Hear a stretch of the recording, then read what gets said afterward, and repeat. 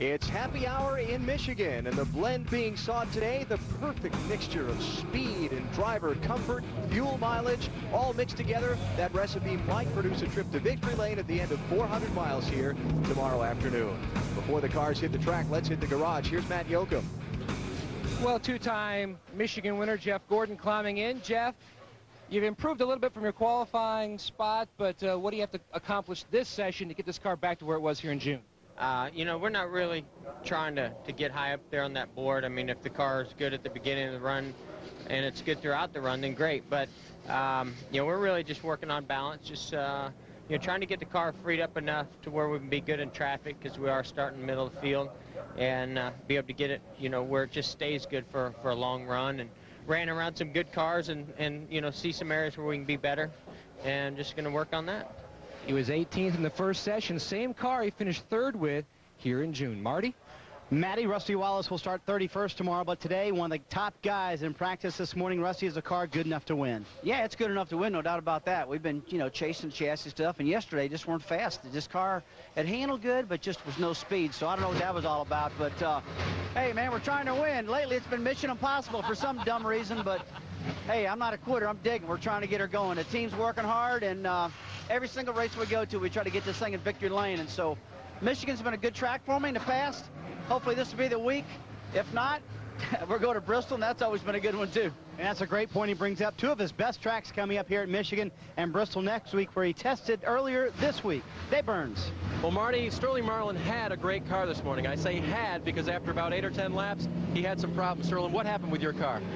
We got a got a real good car. We're like fifth quick in practice, but uh, we run about about eight or ten laps, it starts missing. So uh, I believe some boxes in it just gets hot, starts missing. So uh, hope we got it fixed. All right, he'll get in a couple minutes, guys. Remember, he was good here in the spring. Sterling looking to have another good run here. All right, Dave, thanks. Allen Bestwick, Benny Parsons, Wally Dallenbach here at Michigan International Speedway, where the Winston Cup cars are getting set to hit the track for their final practice. And you think one of the things you're going to be looking for most in this practice is? Fuel mileage. And a couple of things. Number one, you ask people, what kind of fuel mileage do you get in your car? Oh, 19, 20 miles a gallon. That doesn't work with the race cars. You got to be precise. 4.5, 4.6. Second thing you got to know is how much does the gas tank hold? Does it hold 22 gallons? Third thing you got to know, how much does it pick up? Is the pickup tube in the right location to get the entire 22 gallons out of the car? They've got to figure that out in happy hour. You wanted me to surprise you with what I was going to ask you, so yes, he has I no can't idea wait. what's coming. Yeah, uh, I was going to ask you, you know, what the stock closing stock market average was yesterday, but I'll stick with something you might know something about. Uh, the, the Yahoo factor on this track for a driver. They really love running here. Yeah, this is a fun racetrack because it's so wide and there's so many different grooves. You'll see guys right, right on the bottom. Tony Stewart's one of those guys that puts the left side right on the bottom line. You see guys in the middle, you see guys up top. This is a very fun racetrack to run. As Jeff Gordon said, though, you've got to get that balance, especially in traffic, because we'll hear about the aero push here. You get a lot of that when you're in traffic. Do you know what the Dow did yesterday? Was it up or down? I'm sure it was down. No, you're wrong. so, getting set for Winston Cup final practice here at Michigan International Speedway. Kurt Busch among those hitting the track when we come back. You're watching NASCAR on TNT.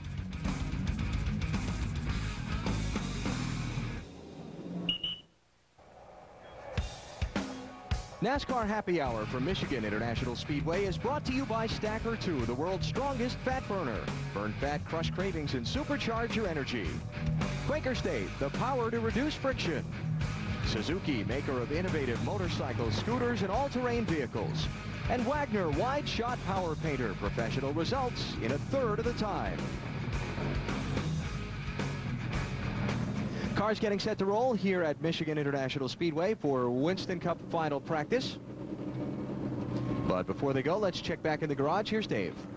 Well, Allen, Terry Labonte is in a great position right now. His car was eighth quick this morning in the morning practice, and I just checked with their crew. They don't need to change anything else on this car to make it good for the race. So now they can just try things, and that's what they'll do during this session. Matt?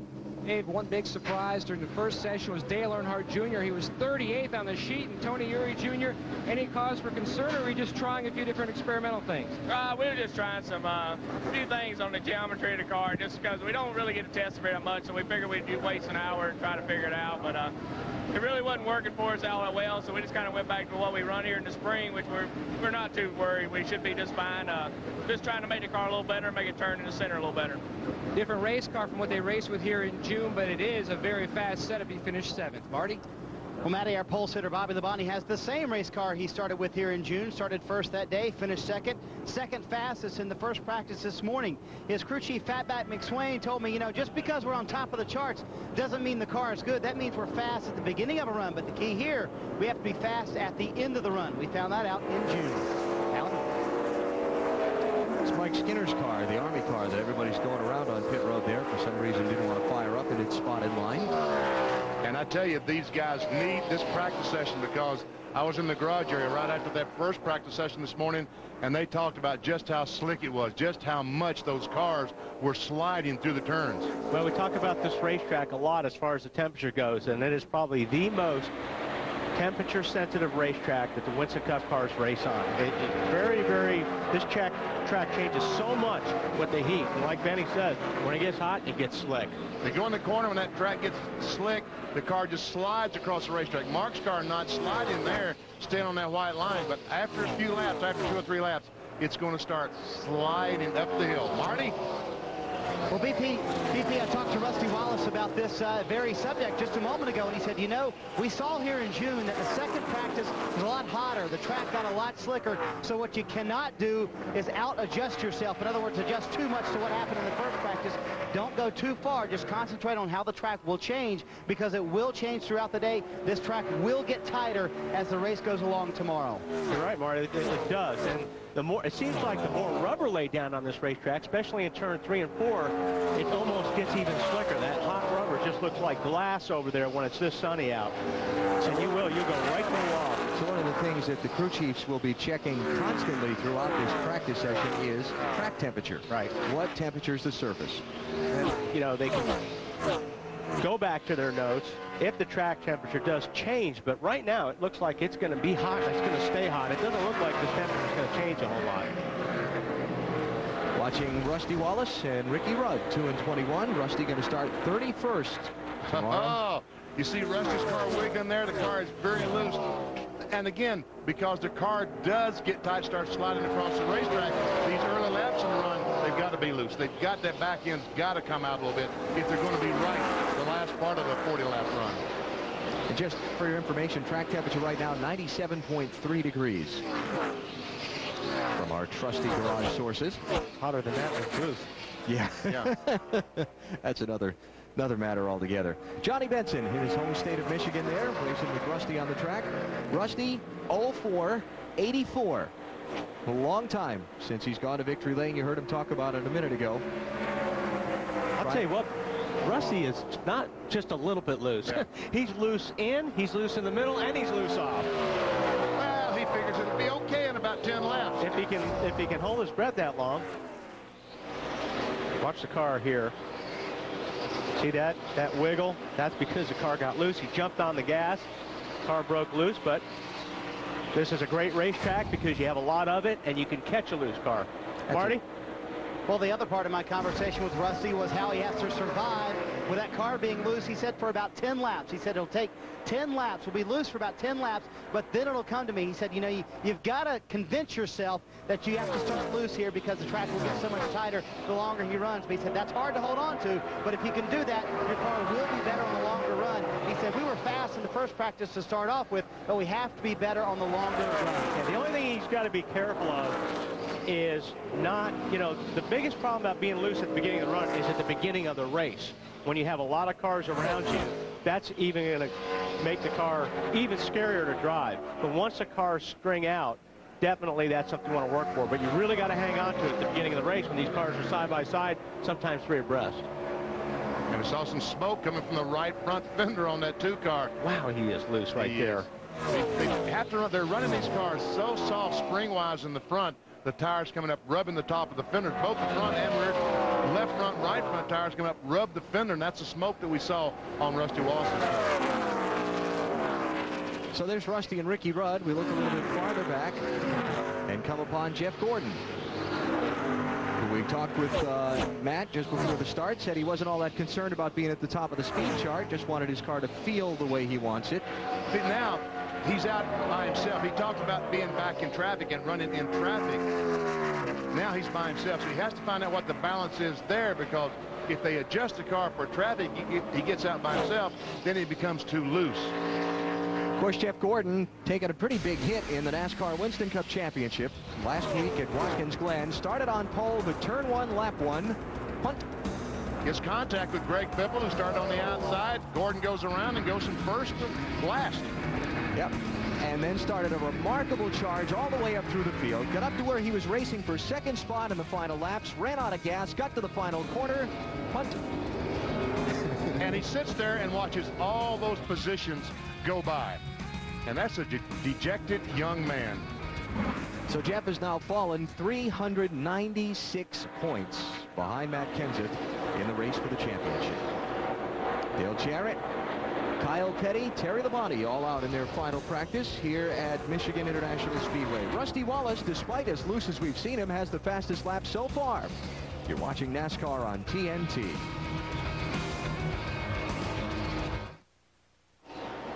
Right on board with some of your favorite NASCAR drivers tomorrow with NASCAR In-Car on In-Demand. Get in-car camera channels, virtual dashboards, real-time in-car data, and live team audio. And you can order it by calling 1-888-SPORTS-IN if you've got digital cable. Practice back underway here at Michigan International Speedway. Home state race for one Johnny Benson from Grand Rapids in the 10 car. Spent the whole week up here in Michigan. Took his family a little mini vacation around his hometown. And he's had, uh, probably of all the tracks in Winston Cup racing, besides the one that he's won on, which is Rockingham, this probably been his best speedway. Four top tens in the last six Michigan races here. Well, I'm sure he would love to do better here than any other racetrack on the circuit because of growing up in the Michigan area. Started his racing here. His dad raced up here for many, many years. Yep, Dad even ran one Winston Cup race here. His dad, John Benson Sr., a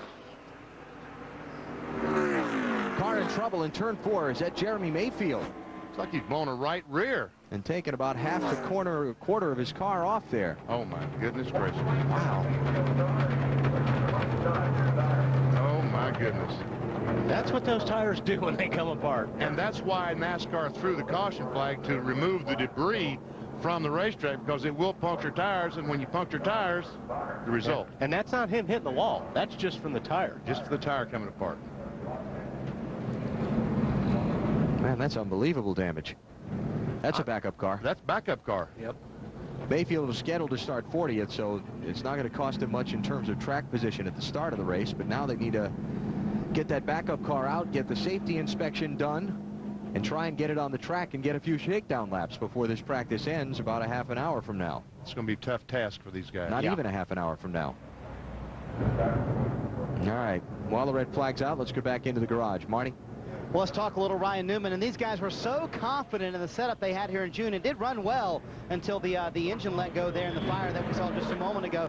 That in the first practice today, they experimented. That's the opposite of what most teams do. And then in this final practice, they went back to their setup they had here in June. They were very, very good in this practice. Just a little bit tight for Ryan. Bam, right back in the ball game when they put that June setup in. Matt? Well, Tony Stewart qualified 23rd, but he was one of those drivers that went out to qualify when the track temperature was at its hottest. Seventh in practice, 10th in practice this morning, 9th in practice on Friday. But Tony's car has been very consistent, consistently tight. The car has not responded well to changes except for the changes they just made. A new left rear spring, new right front spring. Tony came on the radio and said, Zippy, I think we might have hit on it. Zippy told him just to stay out, get back in line, and make another run, and that's exactly what he's going to do. Tony showing seventh fastest right now as Jeremy Mayfield limps his wounded Dodge back to the attention of his team. And no doubt straight to the hauler where they're already unloading the backup car. Red flag for a second time in happy hour here in Michigan.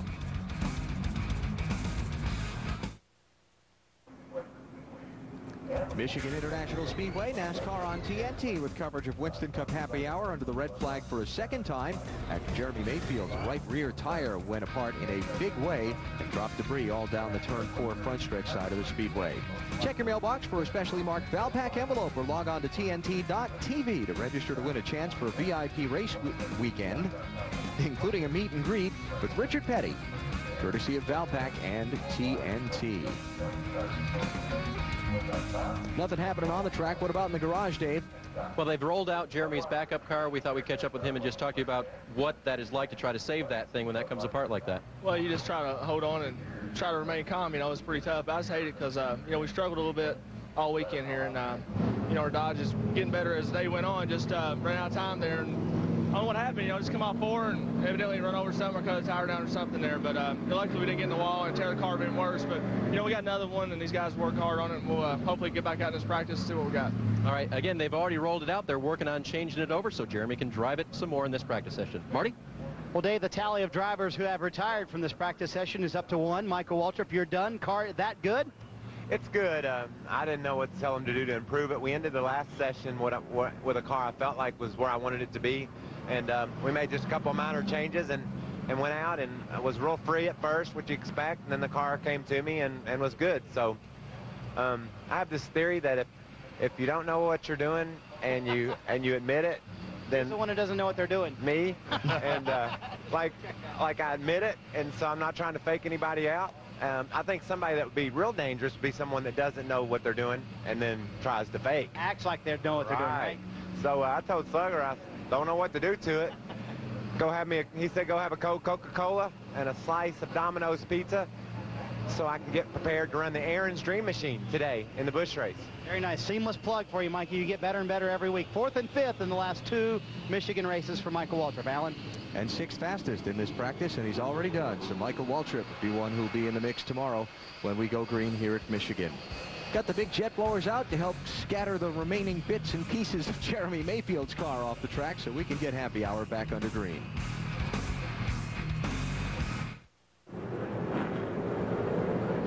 You can follow this weekend's racing action live online with NASCAR.com's Track Pass. Free 14-day trial. Check it out. Visit NASCAR.com. They're moving again here at Michigan International Speedway. Cars back out onto the track after the cleanup from Jeremy Mayfield's scattered right rear fender and tire and back bumper cover and door, door panel and roof yeah, panel and everything else. Yeah, wow. The right side of the car. Kurt Busch, winner here. Back uh, this season's first race in June. He's going to start 20th in tomorrow's race. He was 15th best in the first session. Watch his, uh, watch his arm here now. Watch his arm. See how he tugs on that wheel? You're, you're looking for them front wheels because sometimes you get down the corners and the front tires get so light you can't feel where they're at. And if you turn the wheel too much, you'll spin out. So you just kind of keep pulling on it. Keep looking for the for the grip. He's not tugging on it too bad. He's got a pretty good race car. If you don't tug on it a lot, You know, and people driving a passenger car down the street, if you took your steering wheel and wiggled it around like Kurt's doing in that car, you'd be all over the road. But that's really an illustration of how much these cars move just on their own at the kind of speeds they're running here at Michigan. And how much, just like Wally said, how much the driver is keeps turning that wheel looking for the feel that Wally was talking about. Marty, what do you think about Kurt Busch and his chances? I think they're pretty good, BP. What do you think? Pretty good. I do too. The same car that won here in June, same car that won in California as well.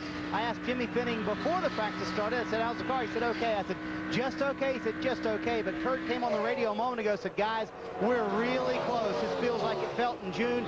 Very close. What they did this last time, just a, a little bit tight for Kurt. They went to a smaller front sway bar. That's the only adjustment they made last time. But uh, they're pretty happy with their race car right now. Talked about Kurt Busch winning here in the June race. Here's a little look back just to refresh the memory. Bobby Labonte started on pole, but wound up, wound up chasing Kurt Busch to the checkered flag. Come see Kurt doing the burnout. We saw, what, a couple of weeks ago at Indianapolis when Kevin Harvick did the burnout. He did the same thing to his right rear quarter panel that Jeremy yeah. Mayfield just did to his 19 car doing a burnout after the race. Yep. Kurt running the third fastest lap right now. He has put 11, now 12 laps on the board in his final practice. And the difference between his fastest lap and the last one he ran is about a second. Jamie McMurray, pretty good car. Ninth fastest so far.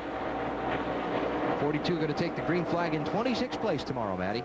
He is the fastest of the three Ganassi cars. In fact, I asked Jamie, I said, on a scale of 1 to 10, how do you rate your car at this juncture? He said, an 8. He said, we are very, very close to where I want to have it. A tick on the tight side. They made a track bar adjustment on the last stop, put on a set of sticker tires, meaning brand spanking new. They're going to go out and make a 20-lap run just to make sure they have the car loose enough to start the race. Second Winston Cup race here in Michigan for Jamie. Made his debut here back in June. Finished 14th. Running second right now in the Raybestos Rookie of the Year standings. But he's a lot better race car driver right now in August than he was in June because he's had some chances and he's had cars that had chances to win at Pocono and Indy. Talked about Kevin Harvick's win in the Brickyard 400. There's Kevin on the Childress 29. Tell you what, he and Robby Gordon been two of the hottest drivers on the circuit here. And Harvick has got three top five finishes in the last four races. And after Watkins Glen moved up two spots in the championship to fifth. He's 16th best in this session, was fourth best in the first session. Marty? Well, BP, this is the car that actually won in Indianapolis, and Kevin can thank his crew chief Todd Berrier and his wisdom for having this car here this weekend. Now, right after they won at Indianapolis, Todd had a hunch, so he showed up at work at 6.30 in the morning, had all of his fabricators show up at 6.30 in the morning the Monday after the Brickyard. Started cutting the car up that won Indianapolis because he talked about the right rear fender they had damaged when he did the burnout. And then the call came that he knew was coming from Richard Childress at 9.30 in the morning. Hey, Todd, you know that car that won yesterday? Let's put that in the museum. And Todd said, hey, Richard, you know what? I, I, I'm sorry. I didn't think about that. It's already cut up. I, we can't put it in the museum. Just can't happen. So Todd knew that call was coming at 9.30 in the morning. That's why he showed up at 6.30 and started working on the car. Marty, you think we should have told that story? Richard might be angry now because he doesn't have the... Oh, that. Oh, yeah. I about that, BP. Oh, well. Well, you know what? If he wins here Sunday, I don't think Richard will be angry any longer. That's true. Then he can do a burnout and he can rip the right rear quarter panel off that. Or Yeah. left rear.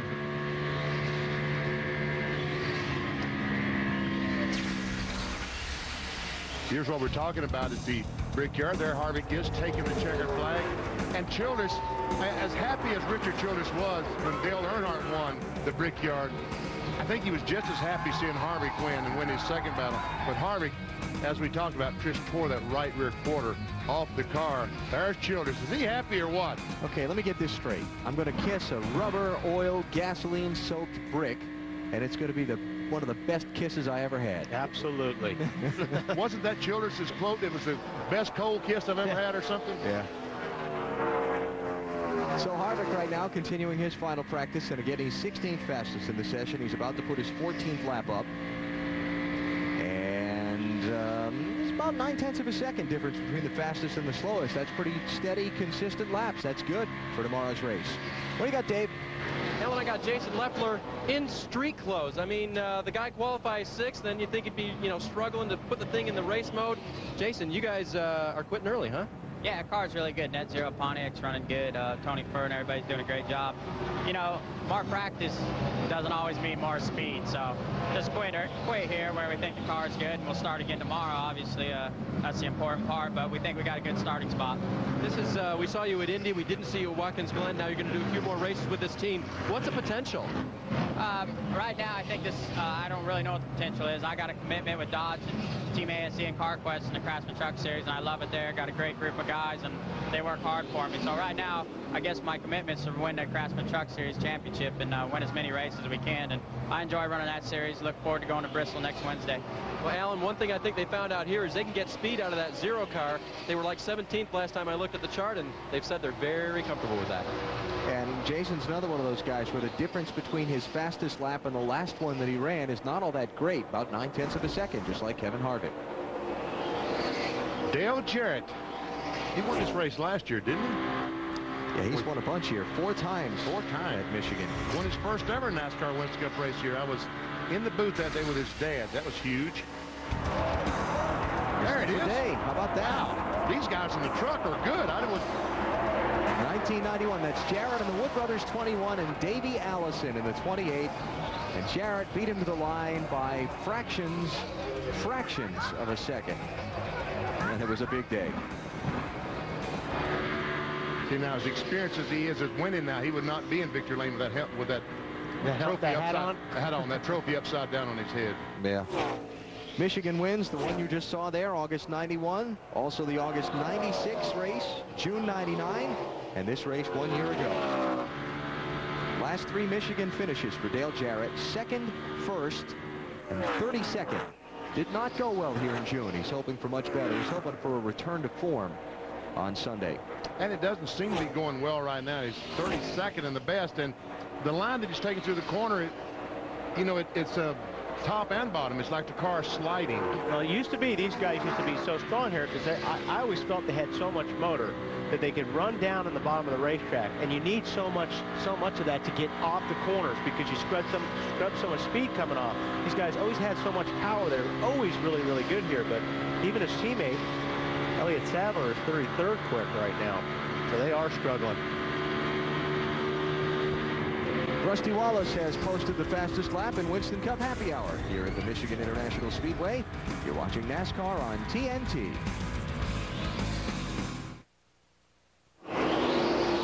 Winston Cup final practice continuing for Michigan as the race for the championship continues with a 400 miler tomorrow. There's the man leading the parade for the big title at the end of the year, Matt Kenseth.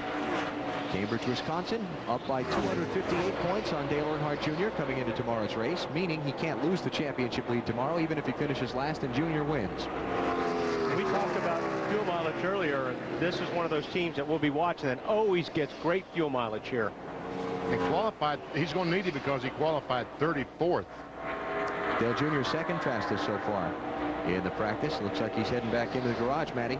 And one major advantage of being part of a multi-car team is the sharing of information. In fact, during that last caution, Dale Jr. was bored in his race car. He flipped his radio over to the One Cars channel, and he was listening in down to what Jeff Green was saying, and he hit his mic and said, hey, guys, this is Junior. How's it going? Jeff Green said, how did you do that? He didn't know he had the option inside his race car to flip over and talk to Junior, and Jeff Green told him, said, my car is tied off, but okay. He said, Junior, you running on the bottom, or have you made the journey up high yet? Junior said, I'm running the low line, close to the low line. Matt Kenseth heading back to the garage, 34th fastest in the practice. He's run 25 laps. Is that the most of anybody? It's pretty close. Rusty's run 27. And Ryan Newman's run 26. And then Matt in there in 25 laps. Well, how about Ward Burton with 32 laps? So there you go. Those are the guys that have put the most laps in on the track in this practice.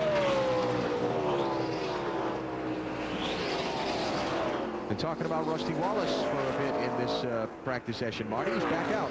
He is very happy, Allen. In fact, he came on the radio in the middle of this run and said, guys, this is the best handling car I've had at Michigan in years. This is a great race car. Rusty is right now doing a fuel mileage run. They're not going to play with the chassis anymore. They're going out, they're going to run 15 laps, get a good read on the fuel mileage, and then they should be done for the day. And uh, Rusty Wallace never quits happy hour, so I'll qualify that, that they should be done for the day. Right now, he is a happy camper inside that two car.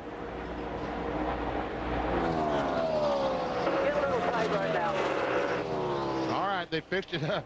We saw that car very, very loose at the beginning of this practice session, and we just heard him say, getting a little tight already. See that tire smoking on that fender? Rusty Wallace turned 47 on Thursday. Jeremy Mayfield's back out. Nice job by the Evernham team to get that backup car on the track in what practice time remained. Yeah, that's big. Just to even get a couple laps on the racetrack is so important.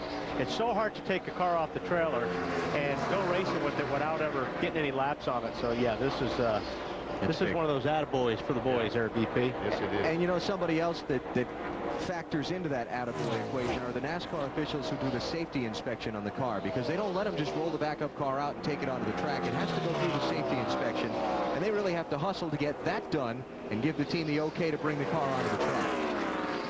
There's a couple of things they will allow to do after this practice session. They'll check the size of the engine and all that stuff afterwards. But Right, the technical inspection, the, the templates and all that, but the safety belts, the fuel cell, all that kind of thing, that all gets checked before the car goes out.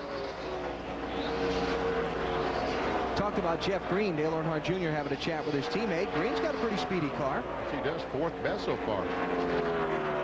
Dave? BP, I just checked with the crew to see what was going on there. Asked them if they made a significant change between this morning's practice and this happy hour session. The answer, yes. The car was very tight from the center of the corner off. They changed uh, springs mainly in the front was the biggest issue, and uh, that has corrected that problem. Right now, they're just working on a little bit tight going into the corner. Car won't quite turn the way Jeff wants it to, and they got a little vibration that Jeff was talking about, too. They think might just be a maybe a track or something like that. Nothing big in the engine department. Okay. It's tight there, getting in. Tell you what, you look at that shot right there, though. I'll tell you one of the things to look forward to about tomorrow's race. How wide this racetrack is, how much of the racetrack is usable, and we'll see him stacked up in about four or five lanes. And that's one reason that fuel mileage is so critical because the racetrack... right there, so. Yeah. He said that's all I can stand right there. racetrack is so wide that you don't have to run into somebody to get by them. Yeah. Jeff Burton, 99 car. Qualified eighth for tomorrow's race. He's got the 19th fastest lap now, but the difference between his fastest time and his last lap time, I don't know what kind of tires he's on right now, but it's only three-tenths of a second.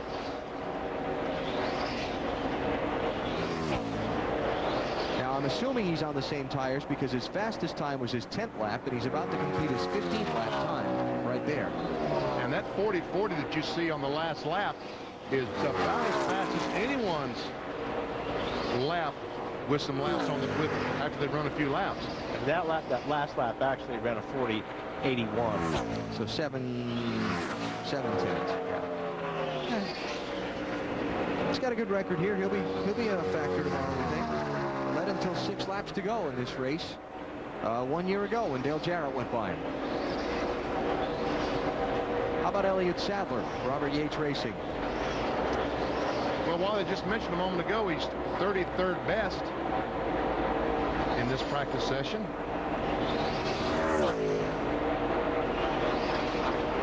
Elliott showed up here with a beard. Did he? So I walked over to him in the garage. I said, okay, what's up with this? This is, it can't be getting ready for hunting season already. He said, well, just being lazy. That's okay. Elliott was one of the uh, Ford NASCAR drivers who were in downtown Detroit on Thursday when the power went out. They were signing autographs in the middle of the football stadium, the Dome Stadium there. So he had an interesting experience getting out of Detroit in the middle of the big blackout. Elliott Sadler. Yeah. And here's the other Elliott. Bill Elliott. Mr. Michigan. And guess what? The man has said, quit, fellas. Gotta quit. It's over. Bill Elliott got the 12th fastest lap in this practice, which is good because he was really struggling yesterday. He qualified 32nd. And so the seven-time Michigan winner has got some work cut out for him to come from the back if he's going to pick up victory number eight. And you said seven-time winner. Yeah. You know, his teammate, I've been watching his run some pretty good laps there with that backup car. Mayfield after the... Jeremy Mayfield after um, he blew that tire, they pulled out the backup, and the car might be pretty competitive. So will it be Bill Elliott's day tomorrow to charge through the pack and take a Michigan win? Maybe rookie Greg Biffle in the 16 for local owner Jack Roush? And how will the race for the championship play out? More from Michigan when we come back on TNT.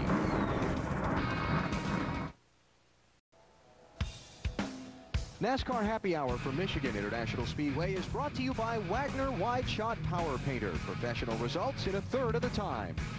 Suzuki, maker of innovative motorcycles, scooters, and all-terrain vehicles. Quaker State, the power to reduce friction. And Stacker 2, the world's strongest fat burner. Burn fat, crush cravings, and supercharge your energy. Practice is over. Time to push him back to the garage and begin to make those final mechanical preparations for tomorrow's 400 miler. Matty? And Jamie McMurray doing some mechanical alterations here to your helmet. What are you doing? Well, I got a fan here, and uh, it's been sweating so much the last couple of days. I've only got one of these new helmets, and I'm just trying to dry it out before I get in the Busch race. Now, you told me before you went out to make that last run, the car was an 8 on a scale of 1 to 10. How is it now? You ended practice early. Yeah, I, am pretty happy. Um, I don't think we're as good as we were at Indy when we ended happy hour, but... And this is the Indy car. Yeah, this is the car we ran at Indy and at Pocono. Um, but the balance didn't change. We ran like 15 laps and um, fell off to like a, a 40, 70, I think, and ran there for about four or five laps. So I told him instead of, of um, wearing the engine out and taking a chance on uh, getting in a wreck or something, let's just get it ready for tomorrow. And did you and Donnie Wingo, your crew chief, talk about fuel mileage at all and any kind of calculations that he might have come up with? Yeah, it's better than normal, so that's good. This, this will be a fuel mileage race. Um, seems like every single week it is. So, um, you know, we've had a really good car the last few weeks, so hopefully if it's our turn on Sunday, it'll be, and if not, we've still got a good car. He hopes to capitalize tomorrow and come away with a win. He starts 26. And Dave? Matty standing by with Jimmy Spencer, who had a pretty good pickup from this morning session to now, 14th from 28th. Jimmy, uh, how good is your car? Not too bad, you know. Uh, it's still not as good as getting, it needs to be getting into the corners. I mean, this track, This track's a big, flat, sort of circular track. It's got long straightaways, but yet the corners are so big and sweeping, and there's so much room in the corners. And, uh, you know, it's very deceiving. And, and you have to be really, really good getting in the corner so you can turn the car, get the angle of the car right off. And if you don't, you lose two or three tenths a lap, two or three tenths a corner, half a second a lap. It's hard to believe. Uh, it's the only track I know of that you can lose that much time in the corners. Uh, it's, it's incredible. And you think you're really hauling mail, you're not. But uh, we, we adjusted our car. We got more rear spring in the, in the in the back, more total rear spring than we got in the front. That's unheard of, but I, I just I can't believe this stuff. But I just say, hey, this is what it's doing. Fix it. I don't want to know. And I know BP's mind is going right now. The wheels are turning up there, and I'm sure he'll have a comment about that. First, let's go to Marty Snider. Well, Dave, Dale Earnhardt Jr. in the middle of the debriefing here, trying to describe how his race car's doing with a, a lot of hand movements there. How's the car, Junior? We got a lot better at that practice. We had the car, we had some stuff on the car, the suspensions and spindles and stuff, but it didn't really work at all in the first practice. And, uh, you know, uh, we put basically the same rest setup we had in the car last time. It runs so good and the car's good. We just dialed it in a little better. We still got a little push in the middle of both ends, and but I'm a lot better. He said, you know where I've got to run tomorrow is a high line. If I can't run the high line, I can't win the race. BP, you know about that, don't you? Oh, yeah, I sure do. you got to be able to run high. you got to be able to run low. But I think the winner's going to be the guy that can run on the bottom all day long. Tony Stewart, are you listening? The guy that runs on the bottom and the guy that gets good fuel mileage. It's amazing how competitive these races have become, the things that are coming to determine it now. These crew chiefs are probably going to sweat that mileage calculation from now until the green flag, until the checkered flag tomorrow. Absolutely. I mean, that's that, like they said, this is what it's all about is fuel mileage. But you still got, like Jimmy was saying, you still have to be comfortable here. You drive into these corners so far, especially here at Michigan. I mean, you just go way down in there. That car's got to be comfortable for you because it's scary if it's not. And he talked about having 50% of the springs, over 50% of the springs in the back of the race car. Folks, back in the 70s, you had 75, 80% in the front. And now they got over 50% of the spring, total spring rate in the back. That's how much it's changed in the last 25 years. Big, wide, fast racetrack. Great competitive field for tomorrow. Should be a lot of fun.